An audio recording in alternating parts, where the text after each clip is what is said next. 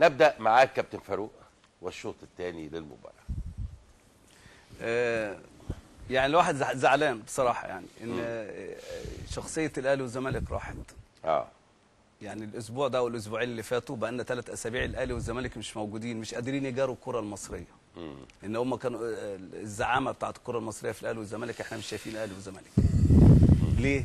آه طب بارك للكابتن علاء عبد العال طيب كابتن علاء ألف مبروك لا، ودي مشكلة ودي مشكلة يا. كابتن. إحنا عايزين نقول برضك مصر كلها. آه إحنا عايزين نقول يا كابتن هتلاعب فرقة كبيرة هتلاعب فرقة صغيرة لازم المدرب يكون قارئ للفريق المنافس لو ما كانش قارئ للفريق المنافس ما يعرفش يتعامل معاهم نعم. والنهارده شفنا الزمالك وشفنا الأهلي النهارده درس كبير قوي الاهلي والزمالك إن هم بيلعبوا فرقة أقل منهم ولكن الفرقة بالتركيز بتاع اللعيبة واللعيبة في طوع للمدرب وبينفذوا اللي بيقوله المدرب والنغمة بتاعت الشوط الأول بتاع المدربين والشوط الشوط الأول بتاع اللعيبة والشوط الثاني بتاع المدربين الكلام ده انتهى في الكورة. الداخلية خلصت المباراة من بدري.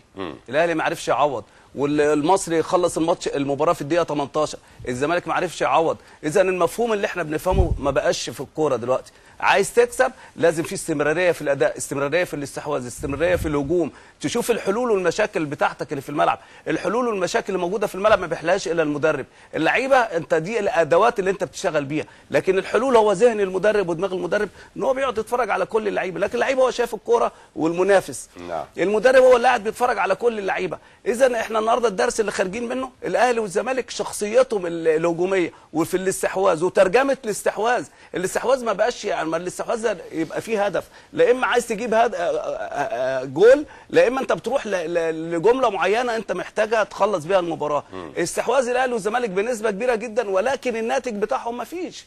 الأهلي والزمالك النهارده على مدى 100 دقيقة المباراة الأولى 100 دقيقة المباراة الثانية الأهلي والزمالك ما عرفوش يجيبوا جول. نعم. اذا الأهلي والزمالك النهارده ما بقولوا لا يملكوا مقاومات الفوز مقاومات الفوز يعني صانع ألعاب يعني مهاجمين يعني أطراف يعني ضغط من نح من نص الملعب مع المهاجمين استغلال الأطراف في الكرات العرضية الكرات ال- الثابتة كل الكلام ده النادي الأهلي دخل فيه كورة من كورة س- الهدف من كورة ثابتة ونادي الزمالك النهارده هدف دخل فيه الهدف من كورة ثابتة إذا ال- ال- ال- ال- ال- الرؤية بتاعت المدربين لازم تتغير والفكر بتاع المدربين يتغير ونتعامل مع واقع جديد. الأهلي والزمالك لازم يستحدثوا في الفكر الأهلي والزمالك لازم يشقوا في الملعب الأهلي والزمالك يحسوا إن الفرق اللي بتلعبهم دي ند قوي وياخدوا المباراة من بداية المباراة. لازم يكونوا فعل مش رد فعل. الأهلي والزمالك أصبح الن- النهارده رد فعل كأنه الأهلي والزمالك كأنهم كأي فرقة صغيرة في الدوري العام.